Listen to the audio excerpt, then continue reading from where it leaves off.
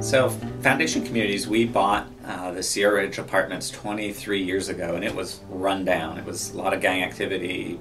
20% of the apartments were on you couldn't live there. And over the years, we fixed them up. And I think it was in 1994, we, we'd done a lot of resident organizing, and we asked in surveys and at meetings, you know, what do you what can we do more? What could we do to enhance the community? And the number one thing we, we heard loud and clear was um, do something with these kids.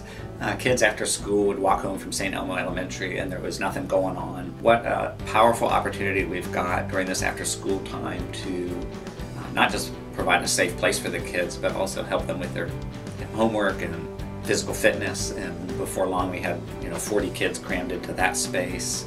Um, we quickly realized we, the major architectural flaw of that building was uh, was too small. In a few months now, we're going to open up the new Sierra Vista Learning Center. It'll serve families from both Sierra Ridge and Sierra Vista. We, we think of them as sort of one community uh, around St. Elmo.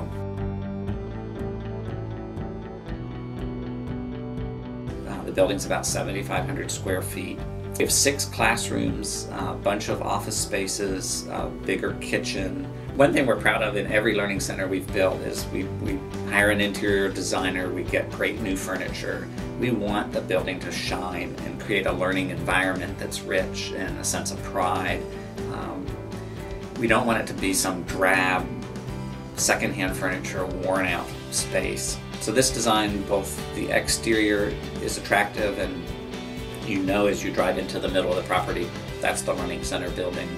Um, and then the interior is just really functional and attractive and um, conducive to building the kind of community and learning that we want. I'm really excited about Power 10 campaign because we need new furniture for this brand new learning center. Uh, we also are putting in a new playground and we're at the end of our renovation budget.